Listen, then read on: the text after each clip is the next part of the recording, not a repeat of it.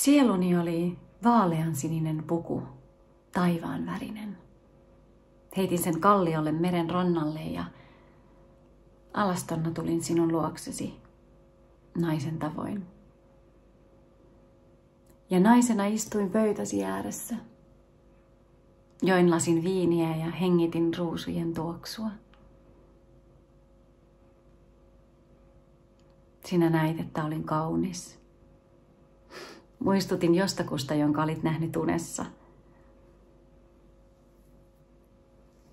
Ja minä unohdin kaiken. Unohdin lapsuuteni, kotimaani. Tiesin ainoastaan olevani hyväilyjesi vanki.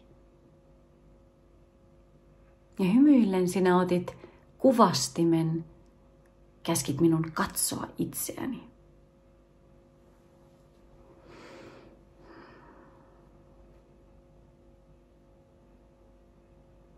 Näin, että olkapääni olivat tomusta tehdyt ja murenivat tomuksi.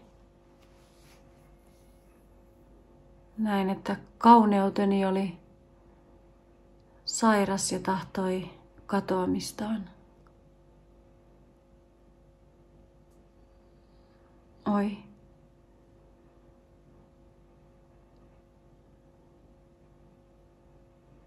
Sulje minut syliisi niin lujasti, ettei minulta mitään puutu.